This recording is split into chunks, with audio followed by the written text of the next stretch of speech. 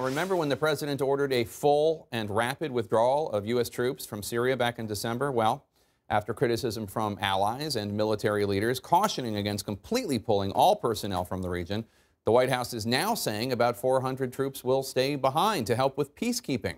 CNN's Barbara Starr just got back from Syria, where she was with the commander of U.S. Central Command and saw firsthand what exactly U.S. service members are still facing on the ground. I'm not reversing course. President Trump late today insisting he hasn't changed his plan to bring troops home from Syria, despite Press Secretary Sarah Sanders saying in a statement a small peacekeeping group of about 200 will remain in Syria for a period of time, a change from what Trump himself said in December. They're all coming back, and they're coming back now. We won. Within hours of Sanders' statement, even the 200 number changed. Now, White House and Pentagon officials say the number could go higher. Perhaps more than 400 U.S. troops will stay in Syria. It's expected to all be part of an international force of 1,500 coalition and U.S. troops to enforce a northern safe zone that would keep out armed forces.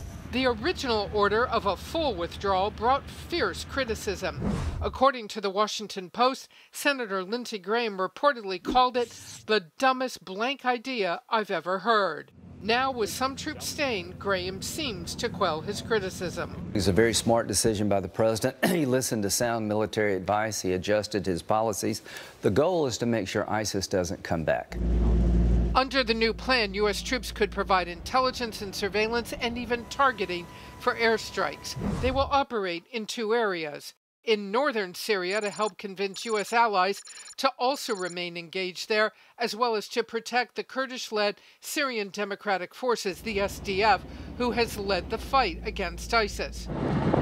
Turkey threatened an incursion into northern Syria to attack the Kurds they see as terrorists. A second group of U.S. troops will remain near the border with Jordan and Iraq to assist the SDF hunt for the remains of ISIS.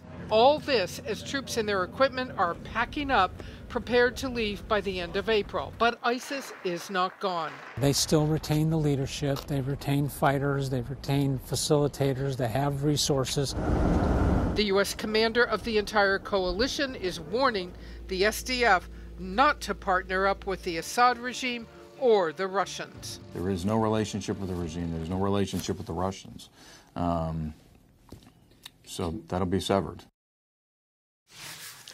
So ISIS still very much a threat in Syria, potentially capable of attacking the U.S., a growing threat in Afghanistan. We learned that last week traveling with the general. And if you think ISIS is defeated, as the president seems to think, well, think again.